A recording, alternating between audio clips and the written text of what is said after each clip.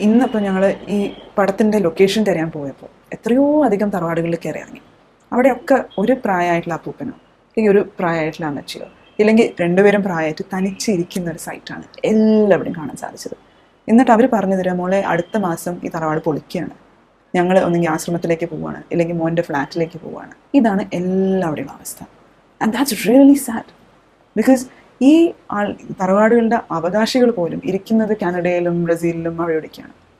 അവരിതിന്റെ മൂല്യം തിരിച്ചറിയുന്നുണ്ടോ എന്ന് എനിക്ക് അറിഞ്ഞുകൂടാ ഞാൻ ഇപ്പോൾ കൂടെ അങ്ങനെ ഒരു ഒരു ഒരു ട്രാജഡി വരുമ്പോൾ നാട്ടിലേക്ക് വരിക എന്നല്ലാതെ ആ ഒരു റൂട്ട്സ് നിലനിർത്തുക അതിനൊന്നും ഇപ്പോഴത്തെ ആൾക്കാർക്ക് വലിയ താല്പര്യമില്ല. അവരുടെ പ്രയോറിറ്റീസ് വ്യത്യാസപ്പെട്ടു പോയി. അപ്പോൾ അതുകൊണ്ട് യോ അങ്ങനത്തെയാണ് ഒരു ഒരു മെജോറിറ്റി എടുത്താൽ അങ്ങനെ ചിന്തിക്കുന്നവരാണ്.